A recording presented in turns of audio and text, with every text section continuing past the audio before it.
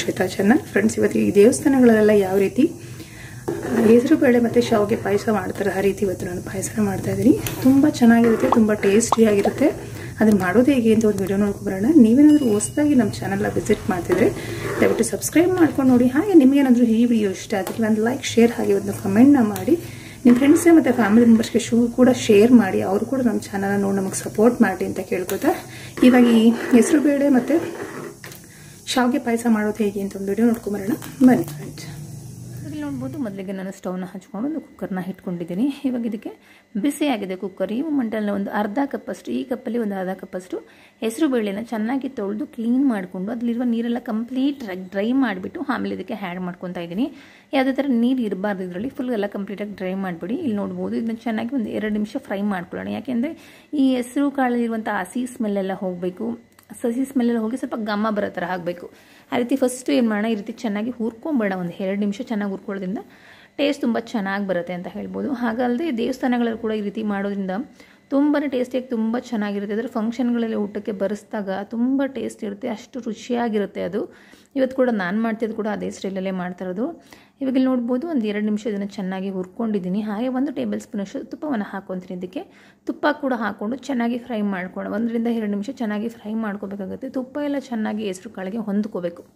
ಆ ರೀತಿ ಚೆನ್ನಾಗಿ ಫ್ರೈ ಮಾಡ್ಕೊಳ್ಳೋಣ. ಇವಾಗ ಇಲ್ಲಿ ನೋಡ್ಬೋದು ಚೆನ್ನಾಗಿ ಫ್ರೈ ಮಾಡಿಕೊಂಡು ಇದಕ್ಕೆ ನಾನೇನು ಮಾಡ್ತೀನಿ, ಯಾವ ಕಪ್ಪಲ್ಲಿ ನೀರನ್ನು ನಾನು ಇವ ಹೆಸರು ಕಾಳನ್ನ ಯಾವ ಕಪ್ಪಲ್ಲಿ ಹಾಕ್ಕೊಂಡಿದ್ನೋ ಅದೇ ಕಪ್ಪಲ್ಲೇ ಎರಡು ಕಪ್ಪಷ್ಟು ನೀರನ್ನ ಆ್ಯಡ್ ಮಾಡ್ಕೊತಾ ಇದ್ದೀನಿ. ನೋಡ್ಕೊಳ್ಳಿ ನಿಮ್ಗೆ ಏನಾದರೂ ನೀರಿನ ಕ್ವಾಂಟಿಟಿ ಜಾಸ್ತಿ ಬೇಕಂದರೆ ನೀವು ಜಾಸ್ತಿ ಕೂಡ ಹ್ಯಾಡ್ ಹ್ಯಾಡ್ ಮಾಡ್ಕೋಬೋದು. ನಾನು ಇಲ್ಲಿ ಒನ್ ಫಿಫ್ಟಿ ಗ್ರಾಮಷ್ಟು ಹೆಸರು ಬೇಳೆನ ತೊಗೊಂಡಿದ್ದೀನಿ ಇಲ್ಲಿ ನಾನು ಟೋಟಲ್ಲು ಇವಾಗ ಇಲ್ಲಿ ನೋಡ್ಬೋದು ಅದೇ ಕಪ್ಪಲ್ಲಿ ಎರಡು ಕಪ್ಪಷ್ಟು ನೀರನ್ನು ಹಾಕ್ಕೊತಾ ಇದ್ದೀನಿ. ನೀರನ್ನ ಹಾಕ್ಕೊಂಡು ನಿಮಗೆ ನೋಡಿ ಆವಾಗಲೇ ಹೇಳಿದಾಗೆ ನಿಮಗೆ ಜಾಸ್ತಿ ಕ್ವಾಂಟಿಟಿ ಬೇಕಂದರೆ ನೀವು ಜಾಸ್ತಿ ಕೂಡ ಹಾಕೋಬೋದು.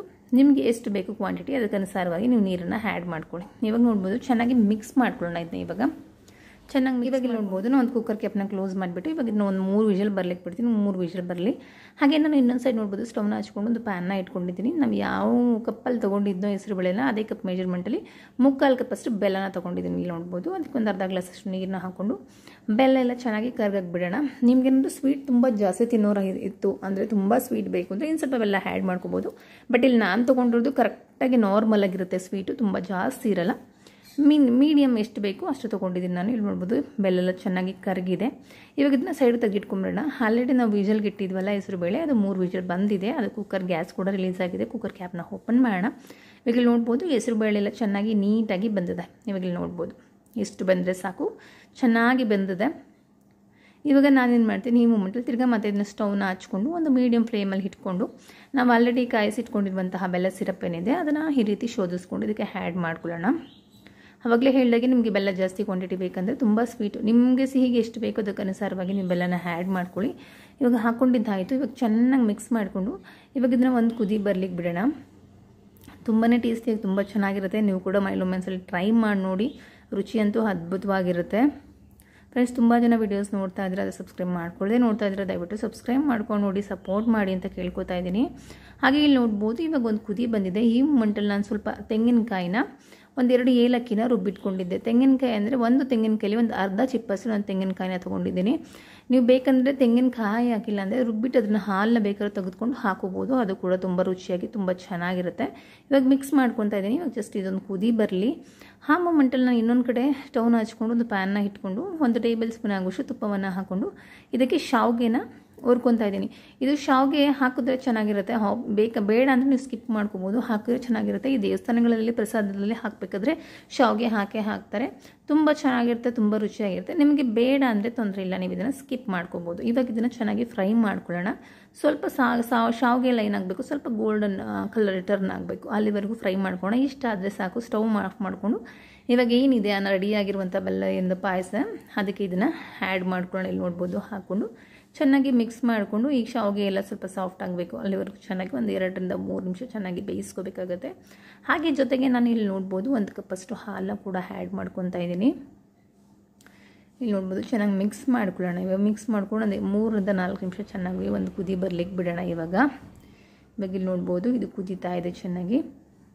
ತುಂಬ ಚೆನ್ನಾಗಿರುತ್ತೆ ನಾವು ಈ ರೀತಿ ಪಾಯಸ ಮಾಡ್ಕೊಳ್ಳೋದ್ರಿಂದ. ಪಾಯಸ ಇವಾಗ ನೋಡ್ಬೋದು ತೆಳ್ಳೆ ಅನಿಸುತ್ತೆ ಬಟ್ ಅದು ಬೇಯ್ತಾ ಬೇಯ್ತಾ ಸ್ವಲ್ಪ ತಣ್ಣಗಾದ್ಮೇಲೆ ಗಟ್ಟಿ ಆಗುತ್ತೆ. ಇಲ್ಲಿ ನೋಡ್ಬೋದು ನಾನು ಅದು ಇನ್ನೊಂದು ಕಡೆ ನಾನೇನು ಮಾಡಿದ್ದೀನಿ ಮತ್ತೆ ಸ್ಟವ್ನ ಹಚ್ಕೊಂಡು ಅದು ಪ್ಯಾನ್ನ ಇಟ್ಕೊಂಡು ಒಂದು ಎರಡು ಟೇಬಲ್ ಸ್ಪೂನ್ ಆಗುವಷ್ಟು ತುಪ್ಪವನ್ನು ಹಾಕ್ಕೊಂಡು ಡ್ರೈ ಫ್ರೂಟ್ಸ್ನ ಹುರಿದ್ಬಿಟ್ಟು ಹಾಕೋಣ ಅಂತ ರೆಡಿ ಮಾಡ್ತಾ ಇದ್ದೀನಿ. ಇವಾಗ ಇಲ್ಲಿ ನೋಡ್ಬೋದು ತುಪ್ಪ ಎಲ್ಲ ಬಿಸಿ ಆಗಿದೆ. ಈ ಮೂಮೆಂಟಲ್ಲಿ ಗೋಡಂಬಿ ಮತ್ತು ದ್ರಾಕ್ಷಿ ಎರಡು ಒಂದೊಂದು ಟೇಬಲ್ ಸ್ಪೂನ್ ಆಗುವಷ್ಟು ಹಾಕ್ಕೊಂಡು ಚೆನ್ನಾಗಿ ಫ್ರೈ ಮಾಡ್ಕೊಳ್ಳೋಣ. ಏನಿದು ದ್ರಾಕ್ಷಿ ಎಲ್ಲ ಸ್ವಲ್ಪ ದಪ್ಪ ದಪ್ಪ ಆಗಬೇಕು, ಅಲ್ಲಿವರೆಗೂ ಚೆನ್ನಾಗಿ ಫ್ರೈ ಮಾಡ್ಕೋಬೇಕಾಗತ್ತೆ.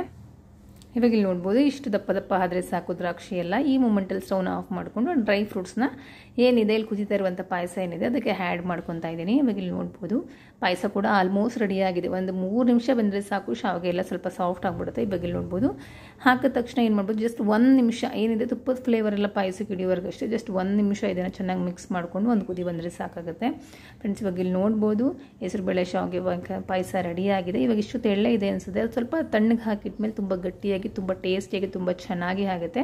ಫ್ರೆಂಡ್ಸ್ ಇವಾಗ ನೀವು ನೋಡಿದ್ರಲ್ಲ ಟೆಂಪಲ್ ಸ್ಟೈಲಲ್ಲಿ ಯಾವ ರೀತಿ ಹೆಸರುಬೇಳೆ ಶಾವಿಗೆ ಏನಾದರೂ ಈ ವಿಡಿಯೋ ಇಷ್ಟ ಆದಲ್ಲಿ ಒಂದು ಲೈಕ್ ಶೇರ್ ಹಾಗೆ ಒಂದು ಕಮೆಂಟ್ನ ಮಾಡಿ. ನೀವೇನಾದರೂ ಹೊಸದಾಗಿ ನಮ್ಮ ಚಾನಲ್ ನೋಡ್ರಿ ದಯವಿಟ್ಟು ಸಬ್ಸ್ಕ್ರೈಬ್ ಮಾಡ್ಕೊಂಡು ನೋಡಿ. ಹಾಗೆ ನಿಮ್ಮ ಫ್ರೆಂಡ್ಸ್ಗೆ ಮತ್ತು ಫ್ಯಾಮಿಲಿ ಮೆಂಬರ್ಸ್ಗೂ ಶೇರ್ ಮಾಡಿ. ಅವರು ಕೂಡ ನಮ್ಮ ಚಾನಲ್ಗೆ ಸಪೋರ್ಟ್ ಮಾಡಿ ಅಂತ ಕೇಳ್ಕೊತಾ ಇಲ್ಲಿಗೆ ನಾನು ಈ ವಿಡಿಯೋನ ಮುಗಿಸ್ತಾ ಇದ್ದೀನಿ. ವಿಡಿಯೋ ನೋಡೋದಕ್ಕೆ ಧನ್ಯವಾದಗಳು. Thanks for watching